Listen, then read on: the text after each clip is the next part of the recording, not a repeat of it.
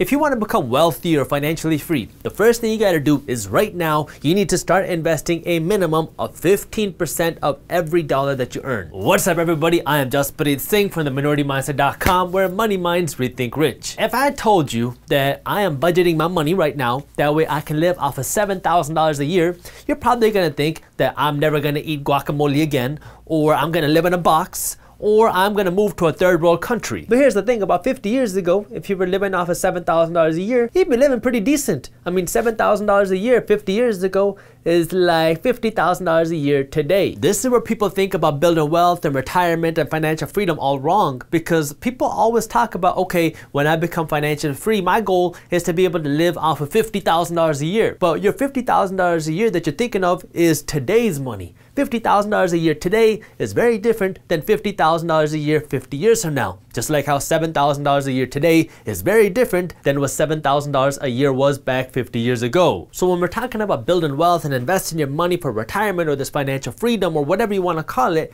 you got to understand two things. One, you got to understand how your money works, that way you're using the money right way. And the second, you got to know how to invest this 15% and why you need to be investing this 15%. But before I get into that, I need you to do me a quick favor and smash that thumbs up button below because the way the YouTube algorithm works, if you do not smash that thumbs up button, then YouTube is much less likely to show you and other people our financial news and education videos. When the majority of people think of money, they relate it to stuff. How much stuff can my money buy me? If I make $1,000, what is this $1,000 worth? If you ask the majority of people, you relate $1,000 to how many nights can I go out, how many vacations can I go on, how many nice clothes can I buy, how many times can I buy extra guac. So the majority of people, when you think about money, is what stuff can I buy? The reason we call ourselves the minority mindset is because we think differently than the majority of people. When I want you to think about money, I want you to think about money in terms of how many assets can you buy. An asset is something that makes you money money. And so now when you have $1,000 or $10,000 or $100,000, I want you to ask yourself, okay, now that I have this cash, how many assets, investments can I buy, which are things that are gonna make you more money? When I was younger and I made money, the question that I had was, how can I use this money to improve my car? I started by tinting my windows and I got new rims, then I got subwoofers put in, then I got all this other stuff put in. And it was always this kind of like balance of, okay, I made a $1,000, what can I do to my car? Ooh, I made $2,000, how can I upgrade my car? So anytime I made money before, it was how can I spend this money in a way that's gonna better my car or whatever I have. This completely changed when I started investing in real estate because after I bought my first real estate investment property, it was making me something like $250 a month in profit every single month. And once I got it up and running and going, it was $250 a month passively, which means I wasn't doing any work. Every month, $250 was being deposited into my account. Now, all of a sudden, the way I thought about money completely changed because now I'm thinking in terms of houses and real estate instead of cars. Because now in my mind, I'm thinking, okay, if I can make $250 a month from one property, that means from two properties, I could make $500 a month. With 10 properties, I can make $2,500 a month. With 100 properties, I can make $25,000 a month every single month passively without me having to do any work. As you grow, you'll start to realize that there's easier ways to do this. Like you might not have to buy 100 single family homes. Maybe you can buy an apartment complex and some properties are going to pay you more per unit than others. But in general, that mindset is true. Now I'm thinking about assets instead of liabilities. I'm thinking, okay, when I make money, what investments can I buy? What assets can I buy? How can I use my money to make myself wealthier? How can I use my money to build more assets? How can I use my money to create more value?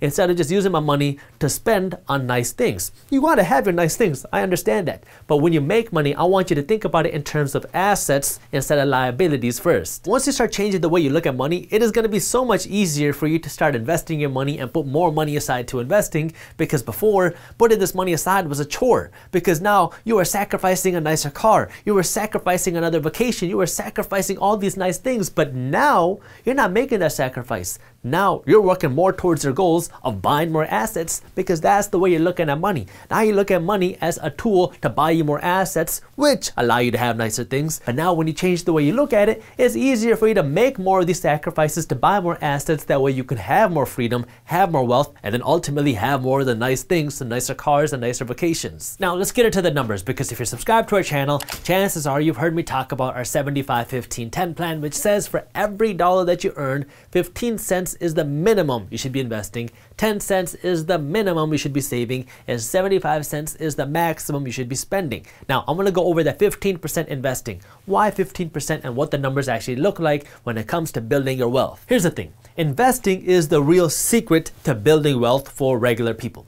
It is not building the next Amazon. It is not finding the next hot stock before it pops. It is not winning the lottery. It's not having a job that pays you a million dollars a year. Yes, these things can help, but they are the exception to the rule. They're not the rule. So if you really want to build wealth, the secret secret is investing your money. And the issue here is so many people are not doing this, even though I think we should know this by now. It's hard because on one hand, we're never taught about money. Like we don't go to school learning about how money works, how budgeting works, how investing works, how to build wealth. And on the second side, we just don't really have kind of a, a good financial culture when it comes to spending because we live in this debt culture where it is completely normal to finance your wardrobe. And so this is kind of the culture that we live in. And the only kind of financial education that people get nowadays is you go to your job, and then your job gives you this packet which says, here's your 401k information. That's why right now, half of America is not investing any money, not a single penny at all. And on top of that, the people that are investing, most of them are only investing their money in their 401k, even though your 401k was never intended to be your sole retirement or investment plan. So if we kind of diagram this out, if this pie represents America, that's a very lopsided pie. If this pie represents America, only half of these people, so these people are not investing any money. Only half of these people are investing any money at all. Now, out of these people that are investing any money, the majority of these people, so something like this, are investing their money only in their 401k. This is the only people that are investing their money in their 401k and out of their 401k. These are the only people that are creating their own wealth and retirement outside of what's kind of just given to you. Out of these people that are only investing their money in their 401k, which was never intended to be your sole retirement or wealth building or investment tool, out of these people, the average 401k contribution is just 7% of your income. So you have a huge chunk of Americans that are not investing any money. And then you have this big chunk of people that are investing their money, but they're only investing their money in their 401k. And the average contribution is just 7%, which means you have only a few percentage of Americans that are investing more than 7% of their income every single year towards their wealth, towards their retirement, towards their financial freedom. If you really want to become wealthy, you got to invest more than 7% of what you're making. Now, let me show you why investing a minimum of 15% of your income income is so important. Let's assume that now when you're 21 years old, you go out and you get a job paying you just $30,000 a year. So you are making $30,000 a year, and let's assume that you're investing 15% of your income every single year before taxes. So that means you are investing right around $4,500. So I'm also going to assume that you're working a job where your salary is going to grow over time, and let's assume that your salary just grows by an average of 3% a year. Now, I know over time, hopefully, your salary will grow by more than this, but let's assume just 3% a year because sometimes you're going to get a raise, sometimes you're going to go to a new job, maybe you'll get another bump there, maybe you get a promotion, but every single year you get a 3% annual bump. And as you continue to make more money, you continue to invest just 15% of your income. If you do that between the age of 21 and 65, you are going to save, so at 65, you continue to do this, you are going to put aside $400,000 over these 44 years. Now, if you just save this cash and you started living off of, let's say, $30,000 a year, then this $400,000 would last you about 13 years. After 13 years, this $400,000 would go away, but you also got to remember that this is $400,000 about 44 years from now. This $30,000 a year in 44 years is not going to have the same value as $30,000 today. I mean, by the time you're 65, if you continue to grow your income by 3% a year, you're going to be making more than $100,000 a year. So if you want to continue maintaining your lifestyle at 65, that means you got to pull out $100,000 a year here. So your money's only going to last you four years. By the time you're 70, you're going to be broke. So this saving model doesn't work, which is why I want you to invest this 15% a year. If you invested this 15% a year and this $400,000 went into investments and you got a below average return for the course of your life and you only got a 4% annual return on your money. if you were able to get a 4% average return on your money over your lifetime, then this $400,000 will grow to right around $900,000 quite a bit more, but you gotta remember, this is still quite a bit below average. If you got an average return of 7% a year, then this $400,000 you invested over your time would grow to $1.9 million on the side for you to now use however you want. And if you could grow your money by 10% a year, which is just a little bit above average, especially when you account for inflation, then your money would not grow to $1.9 million, it will grow to 4.8 million. But the only way this is going to happen is if you're investing 15% of your income every single year. Now look, this is where you got to really understand money because so many people make this mistake that when they're planning for wealth or retirement or financial freedom, they're thinking in today's dollars. They're thinking, okay, I'm young today. I'm hoping that I can live off of $30,000 a year or $50,000 a year or $100,000 a year because they're relating that to today's money. But $30,000 a year today is not going to be the same as $30,000 a year 45 years from now. That's why your income is hopefully going to be adjusted with inflation and go up by a couple percent or a few percent a year. If you are 21 today and you're making $30,000 a year, by the time you're 65, if your income grows by 3% a year, you're going to be making something like $106,000 a year by the time you're 65. So if we assume that $106,000 is what it takes for you to keep the same lifestyle at 65 as you do in 21, that means you got to be pulling out $100,000 a year when it comes time for you to retire in order to keep the same lifestyle that you have today. Now, depending on how much money you're making, that might seem like a whole lot of money or not enough money, but what you got to understand is that in 45 years, $100,000 a year is not going to be as much as $100,000 a year today. So you got to kind of plan for that with your money. And so if we're looking at this kind of income and you're thinking, all right, if I want to maintain my lifestyle, I got to be pulling out $100,000 a year. If you have $400,000 sitting there, that's not going to cut it you're not to have a very nice retirement or financial freedom because after a few years you're broke. Now here, if you get the 4% a year, now at least you have some more money and what you got to also understand is because this money is invested, you're hopefully to continue growing it after you start pulling money out too because you're not to pull out all $900,000 at once, at least hopefully not. You're to pull out $100,000, let the other money grow, pull out another $100,000, let the other money grow and kind of go on like that. That way this can last you more than nine years. And here, assuming you can just get an average return, now you really have money put aside for the rest of your life because now you got money for at least the next 20 years. Because even if you're pulling out $100,000 at a time, that means you have your money growing for another 18 years after you pull this money out. So you pull out $100,000, your money continues to grow the next year because you only pulled out 100,000, you still got 1.8 million in there. Then the next year you pull out another 100,000, you have 1.7 million growing for you. So as long as you got money in the account, your money will continue to hopefully grow. I want you to be an aggressive investor. Actually, I need you to be an aggressive investor because Social Security is becoming a thing of the past and pensions are becoming history. And so if you want to be able to take care of yourself and take care of your wealth and take care of your family and your finances, you got to be the one to put it in place and you got to be the one to start taking action because you cannot rely on the government to take care of you because the government national debt is skyrocketing. They have their own problems. It is very hard and very painful to rely on somebody else, especially the government, to take care of you, which is why I want you to be an aggressive investor. That way you can take care of yourself and take care of your wealth. That way you can live your life the way you want, not worrying about what the government's going to give you. Now, there are different ways that you can invest your money. That way you don't have to actually sell your assets in order to have have money in your hand. Like if you invest in rental properties, investment real estate, now you're creating passive income cash flow. That way you can get cash in your hand every single month without you having to actually sell a property. And if you're investing in dividend paying stocks, now you're making money every quarter or every year from your stocks and you don't have to actually sell your stocks to get paid, but I'll get to that in just a second. Now here's the thing, most people don't start investing their money as soon as they turn 21. What you need to understand is the older you are, the more aggressively that you need to invest. Just because you're older and haven't started yet doesn't mean that you can't start,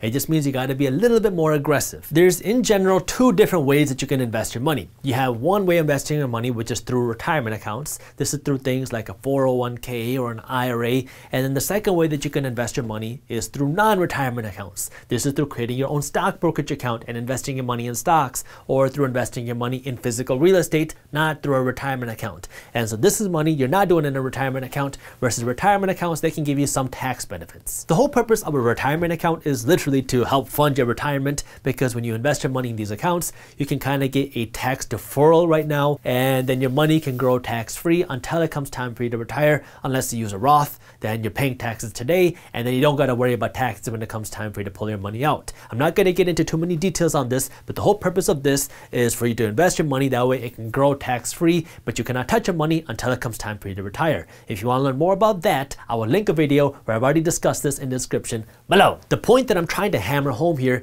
is your retirement accounts are typically not enough because your 401k and IRA has limits and you got to make sure now that you're not investing your money based off of what the government limits you at. You got to be investing your money based off of the way you want to live your life in retirement. That's why I say a minimum of 15% of your money needs to go towards your investments. Some of that money can go towards your retirement accounts, but if that's not hitting the 15%, then you got to be investing your money on your own too. That means maybe you got to create your own stock brokerage account, or maybe you got to start investing in your own physical real estate. That way you can get passive income. But here, you got to know what your goal is first. If you want to see your money grow quickly and you don't mind taking on more risk, then you should consider investing your money in the stock market, especially in growth companies and these kind of more startup companies where these companies are trying to grow as quick as possible, as fast as possible. There's more risk involved because startup companies can fail and they might not work out, but you have the opportunity to see your money grow a whole lot quicker because these are companies that are working really hard to grow as big as possible and as fast as possible. If you just want to see slow and steady growth in your money, then you can look at investing your money in more blue chip companies. These blue chip companies are your bigger established companies that have already been there for a long time. They already have their systems and you're just investing your money in this company. That way you can see your money grow slowly. The advantage with this is you have less risk because these companies are already established, you already know how they're making money, and you can kind of reasonably predict how much money they're gonna make and how fast they're gonna grow, so you have less risk, and so you get lower potential returns. One thing that I do wanna mention about investing your money in the stock market is that the stock picking game is not for most people because picking stocks requires a lot of work, a lot of research, and a lot of upkeep. If you're not willing to do that, then instead of investing your money in individual companies, like trying to find the next Amazon or Google or Facebook, then what you can do is invest in something called a fund, like an index fund or an ETF, because these funds give you exposure to a whole bunch of different companies, and so you have less risk, you can put in less work, but now you're kind of growing with the stock market. I already made a video where I talked about that, so if you want to learn more about how to do that, I will link it for you in the description below. If you're looking for income, where now you can create cash flow or passive income coming into your account every month or every year, where now you can have money in your hands without selling your assets, then you want to be investing your money in things like dividend paying stocks, because dividend paying stocks typically pay you a check every three months, or you can invest your money in real estate because now if you own a house or you own an apartment complex, now every single month the people that are living in your real estate or using your real estate have to pay you rent every single month because they're using your asset. So now when you own these assets like a dividend paying stock or rental properties, now you're making money consistently without you having to physically sell your asset. Real estate is also a really good store for your money because if you have a lot of cash and you want to put it somewhere safe, then real estate is a good place to do it because now you own something physical and tangible that you can see, feel, and touch, and that's creating income. Now, I know real estate prices don't always go up. You could see a real estate crash, but in general, if you own a property in a good area, then you own something that people need, that something want, and that you can see, feel, and touch. The key for any of this to work though is you gotta be consistent and you gotta keep investing your money because investing is not a one-time thing. It's not like you can just take $10,000 and throw it in the market or go out and buy one investment property and say, all right, I'm done investing now. It doesn't work like that. You got to keep investing your money consistently if you want to continue to build your wealth. Yes, if you see a market crash, then come and buy as much as you can then because that gives you the opportunity to buy assets for pennies on the dollar. But in general, you got to keep consistently investing if you want to build this wealth because you got to keep putting more and more money towards your investments. Now, for a lot of people, they don't want to be in the game of trying to find the best companies and do the research and find the best time to come in and buy, which is why I say do it every time you get paid. Just create a system. Anytime you get a paycheck, 15% of that should be automatically invested. That way it kind of happens without you having to think about it and that way you don't accidentally spend this money. There are apps out there that can automate this whole process for you. That way anytime you get paid, a portion of your paycheck will automatically be invested into whatever funds or stocks that you want it to go to. That way your money is constantly just going out without you even seeing it and that way you're not even tempted to touch your money. If you want to learn more about how to actually do that, our team wrote an amazing article on our website, theminoritymindset.com, and I'll link it for you in the description below. Building wealth is really a game where you got to juggle time and how much money you have to invest. Because the more time that you have on your side, the more your wealth can compound and the bigger your wealth can grow. And the more money you have to invest, the faster that you can grow your wealth. But the tricky thing about this, if we look at it practically, is most of us make more money when we're 50 or 60 than we do when we're 21. And so you kind of get more of your money towards the end of your career, but you have more time in the early part of your career, which is why you got to balance it out. You got to start investing aggressively early. That way you can put more money and have the time on your side. That way you can kind of grow your money and have more money working for you. And as you start to make more money, you continue to keep investing 15% of your income income month after month after month. That way you can continue to compound that wealth and continue to keep growing your money. Again, don't take what I'm saying as the ceiling. I want this to be the floor because right now, the average person is investing nothing or very little. I want you to kind of up the minimum and make it so you're investing a minimum of 15% of what you make. Once you get the hang of that, then up it up 20%, maybe 25%, depending on what you're making. The more you can invest, the faster you can build that wealth. And the faster you can build this wealth, the more assets and income that you'll have. That way you can live the life you want without worrying about the price because you got your assets producing income which can fund and buy you whatever it is you want. Thank you for watching. If you enjoyed this video, here's a video on investing that I think you'll love. And while you're at it, subscribe to our YouTube channel and join our free finance and business newsletter. And as always, keep hustling.